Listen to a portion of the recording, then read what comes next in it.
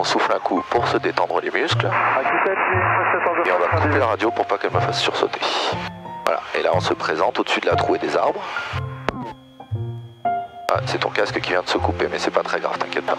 D'accord, je t'entends. Alors, on a la puissance largement, on est encore qu'à 50%, alors qu'on est déjà quasiment en stationnaire en effet de sol. Et donc là, tu vois, euh, je pourrais partir au-dessus à gauche si jamais ça me convient pas. Là, je fais très attention, je vérifie que ma queue est passée.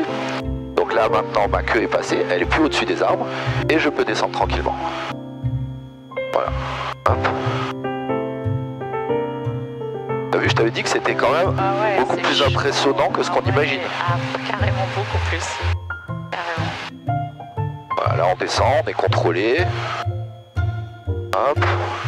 Maintenant, si tu veux, on est vraiment en sécurité. hein. Voilà. Hop. Et maintenant, on prend tout le temps de se poser calmement, on n'est pas pressé. Hop, les deux patins sont posés. Alors attention, tu restes bien attaché, je vais réduire la puissance. Je coupe le gouverneur. Hop. Joli sur la piscine. Ouais, t'as vu?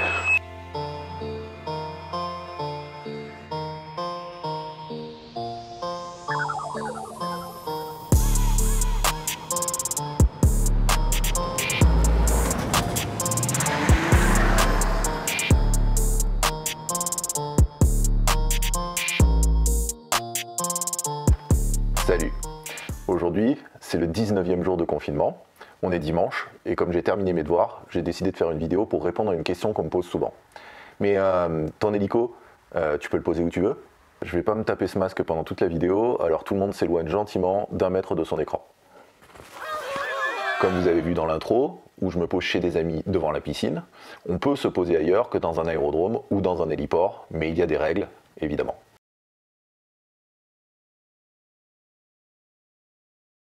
Avant de commencer, un rappel. Je ne suis pas instructeur. Les vidéos YouTube et la vie des copains, c'est sympa. La vie des instructeurs, c'est mieux, mais il y a encore mieux. C'est la documentation écrite et les textes de loi. N'hésitez jamais à poser vos questions par écrit au contrôleur aérien, à la DGAC, à la BGTA, à la PAF. Je le fais sans arrêt, ils répondent très gentiment et ils sont là pour nous aider.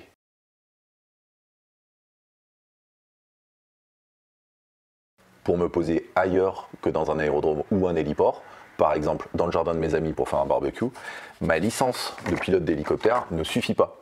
Il me faut une habilitation à utiliser les hélisurfaces. C'est une spécificité française. Partout ailleurs dans le monde, la licence suffit.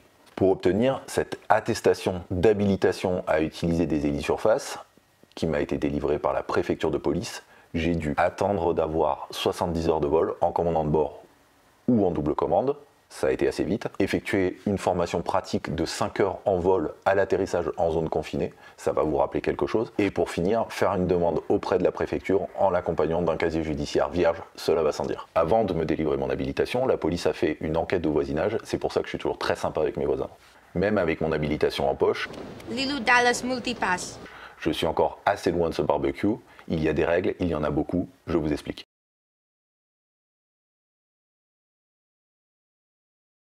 L'atterrissage des hélicoptères en dehors des aérodromes et des héliports est régi par l'arrêté de 1995. Par définition, si je pose mon hélicoptère dans un endroit qui n'est pas destiné à cet usage, cet endroit devient une hélisurface. Pour que le jardin de mes amis devienne une hélisurface, il y a des conditions. Il ne doit pas être dans une agglomération, ni dans une zone interdite de survol, sinon faut amener l'hélico sur une remorque et c'est beaucoup moins classe. Mon hélicoptère et moi-même devons avoir une assurance spécifique pour ce type d'atterrissage et une responsabilité civile suffisante pour couvrir les dégâts éventuellement occasionnés, si vous voyez ce que je veux dire. Je dois obtenir l'autorisation d'atterrissage de la personne physique ou morale, c'est-à-dire d'une personne normale ou d'une société, qui est propriétaire ou qui a la jouissance de l'endroit où je veux atterrir. Il faut également qu'elle autorise l'accès à sa propriété aux agents chargés des contrôles éventuels.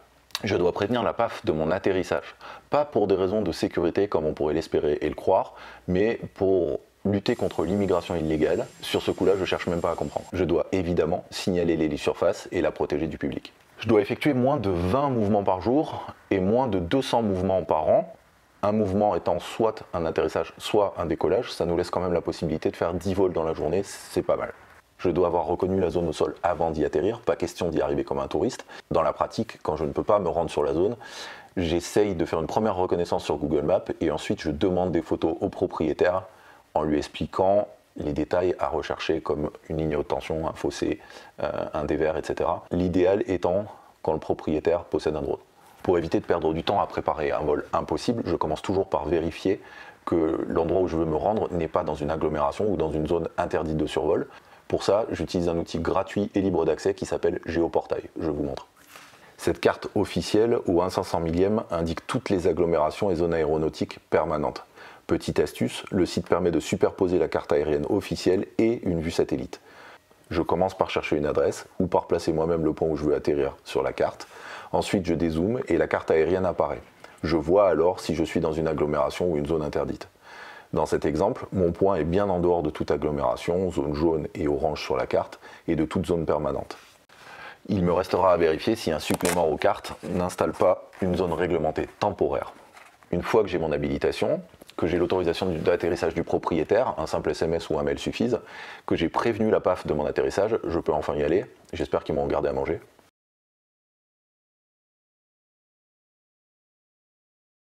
Il y a pas mal de pièges entre ce barbecue et moi. Je vous donne quelques exemples que j'ai vécu personnellement. Il y en a bien d'autres.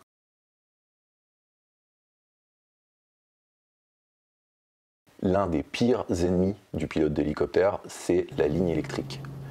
Pas la ligne que je vois, mais celle que je ne vois pas. Même avec une bonne préparation, on peut se faire surprendre. Tellement de pilotes avec une expérience phénoménale ont pris des lignes qu'on peut affirmer que personne n'est à l'abri.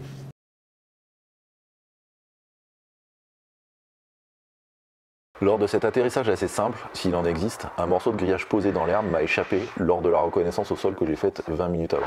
Le fil électrique est passé, la queue derrière c'est bon, et on a dit qu'on posait dans la petite zone cramée là devant. Hop, le gri- Putain, le grillage à droite, j'avais pas noté, ça c'est pas terrible. hein. Ouais, il s'envole là. S'il s'envole, Heureusement, il ne s'envole pas, il aurait pu endommager l'hélico très gravement.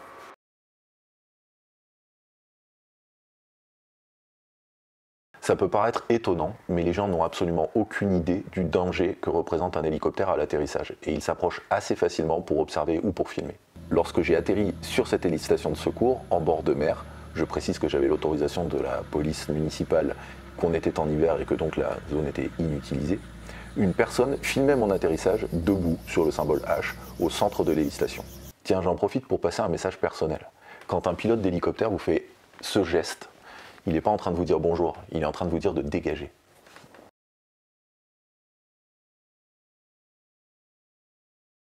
Ça, je peux malheureusement vous en parler. L'accident que j'ai eu avec mon premier hélicoptère était en partie dû à un glissement de terrain qui est survenu quelques minutes après l'atterrissage alors que le rotor tournait encore. Je parle de cet accident plus en détail dans le premier épisode de ma chaîne si ça vous intéresse.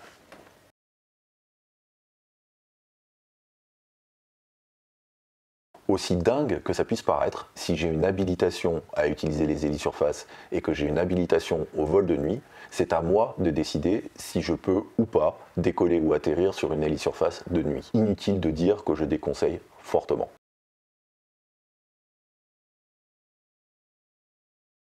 Avoir l'autorisation ne veut pas dire qu'on peut ou qu'on doit se poser.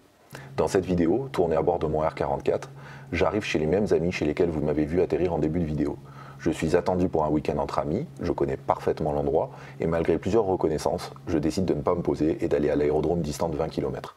Savoir renoncer à un atterrissage devrait être une fierté pour un pilote. Au moment d'atterrir sur une hélisurface, si vous avez un doute, il n'y a pas de doute, c'est simple. Au final, si on a choisi de faire de l'hélicoptère, c'est pas uniquement par amour de cette machine incroyable, c'est aussi pour pouvoir se poser en dehors des aérodromes et des héliports. Et je peux vous dire que je ne me suis pas privé. Je vous laisse sur ces quelques images de drop zone magnifiques où j'ai eu la chance de me poser.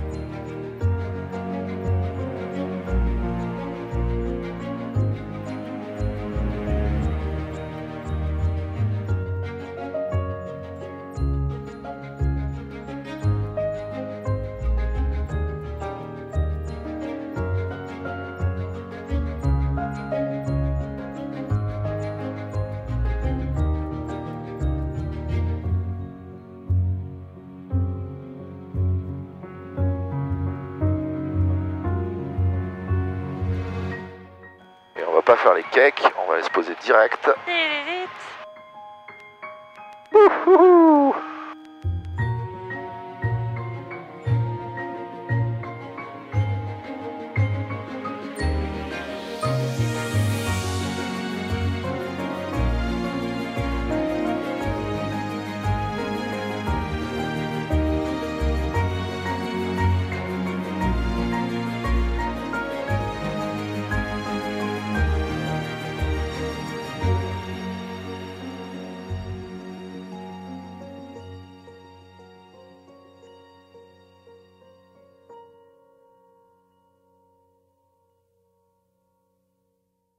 C'était Low Fuel, en direct de chez moi, où je suis confiné.